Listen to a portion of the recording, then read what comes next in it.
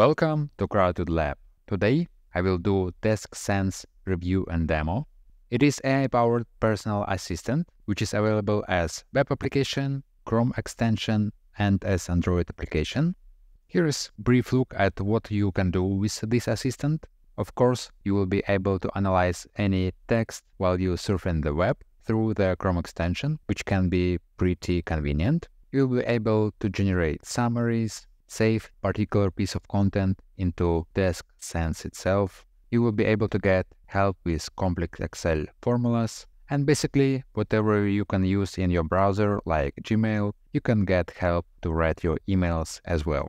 At the moment, DeskSense is available as AppSumo deal. With this deal, you get all of the features of DeskSense, like what you would expect from AI assistant, Basically, you can ask it anything, you can ask ChatGPT, but arguably in a more convenient way, and you will be able to store results in more convenient way. You can ask to write articles and blog posts, ask to help you with your social media content. There is GPT-4 integration, however, it will cost more than GPT 3.5 Regarding deal structure, you just need to select what number of words you need. For example, with plan number one, you get 60,000 words per month.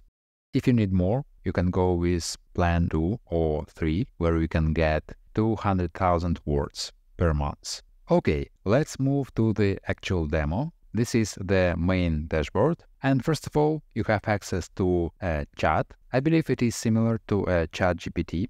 For example, you can ask something like, give me 10 catchy blog post titles for the keyword how to improve digestive system. And let's go. And here it is. You get the suggestions. Okay, moving next, we have a chat room. This is similar to any messenger. So you can add a team member and do mentions and share some information here in this chat group. Here you won't be able to generate AI content. I believe it is just for a collaboration between team members. And AppSumo plans don't include additional team members, so people need to have their own DeskSense account.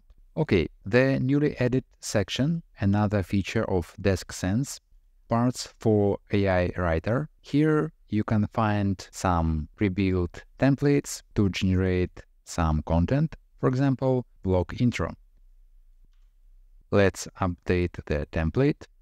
Okay, so this is the updated template. We have our topic, how to improve digestive system. We have our audience and keywords defined. Our model is GPT 3.5 and GPT-4 will cost you 10 times more. Regarding tone, let it be friendly. Word limit, let it be between 100 and 200. It's good that we have options for different languages, but let's stick with English and ask.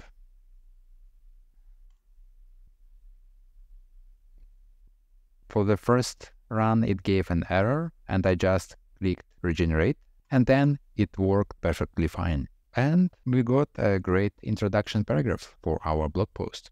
So inside that writer section, you will find more pre-built templates. Those are just for your ease of use. You can even ask to generate some code or motivational quote. However, all of those requests you can do inside AI chat and just ask those here. So I would find those templates just a more convenient and faster way to access what you can do in chat. If you go to all prompts, here you can find some prompts suggestion, which will be later used in our Chrome extension. We just explored the web version of DeskSense, but in order to use it to its full potential, you will need to add Chrome extension, and then you will be able to request AI assistant just by selecting something on the web and then clicking Ask. Let's say you opened a particular article for a more deep dive. You will also have convenient summarize button. You can click on that. We will have the content pre-populated and as well pre-populated prompt to summarize the content. And let's ask. we've got an error. And imagine you would like to understand the introduction in more detail. So you can select that, click ask. We will have pre-populated content that we selected and we can write our prompt. Like explain the content as I am five year old. And we've got the summary, well, a bit simplified. Let's take a look at some other potential use cases. For example, you select some type of content, you invoke the assistant, you will have some predefined prompts saved here. Those you can configure at this view at all prompts. So you can just select that and the prompt will appear here. Let's say you would like to get five viral tweet ideas on this topic. Let's include emojis, emotion, let it be casual, and let's save this prompt and ask. And here it is, our tweet ideas. One more item to note that you will also get generate a image functionality with AppSumo Deal. Alright, moving to a conclusion. So DeskSense may provide you a more convenient access to functionality of ChatGPT. Basically, you can generate here everything you can do with ChatGPT, but you will get some prompt presets. You will be able to save your custom prompts. You will be able to communicate using built-in chat feature. And if you don't want to pay a subscription fee to ChatGPT, you can get this deal and have some number of words available to you monthly forever. Also, DeskSense is available as a mobile application. At the moment, only as Android app.